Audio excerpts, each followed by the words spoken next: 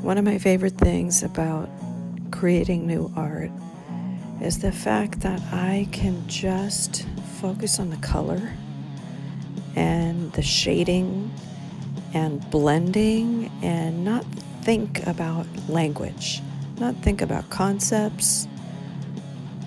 Every piece of stress or anxiety just floats away. And I can just focus color and possibilities of different colors. It's freedom.